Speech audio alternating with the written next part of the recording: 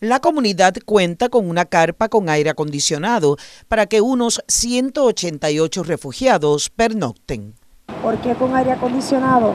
No porque querramos que la gente eh, esté dándose la buena vida, sino porque esperamos que personas encamadas, mujeres embarazadas, mujeres que tengan niños menores de dos años. Precisamente, se dijo que en el hospital municipal hay 11 camas separadas para hospitalizar refugiados de ser así necesario.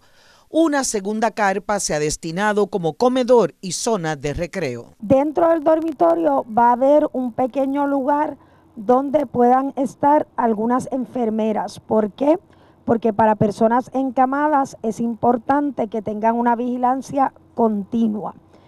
Aquí al fondo, esta carpa es el área de almuerzo, de cena, de desayuno y también el área para hacer algún nivel de recreación. También hay una zona designada para mascotas. Se solicitan pañales de adultos, de niños, pedialite, batidas en shore y artículos de higiene personal, además de toallas sanitarias femeninas. Aquí en el Coliseo Roberto Clemente se, tenemos una cocina industrial y ahí se va a estar haciendo desayuno, almuerzo y cena.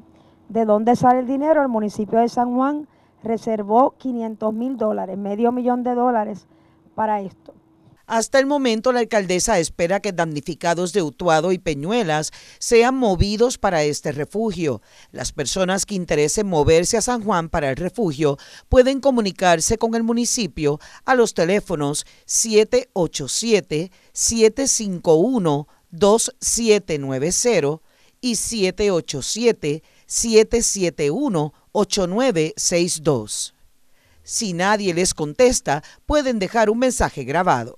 Sabemos que a veces eh, la gente eh, quiere estar aquí en lo que su familia lo viene a buscar. Nosotros estamos preparados, en el Pedrín Zorrilla caben 400 catres, lo hicimos en los meses después de Irma y María y durante Irma y María.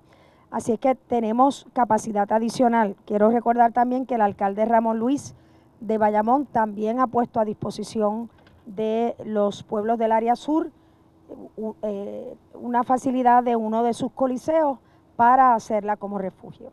La alcaldesa dijo que un empresario de Lares ha puesto a disposición 10 ambulancias para trasladar a las personas que así lo requieran. Para Noticias 360, Gloria Soltero.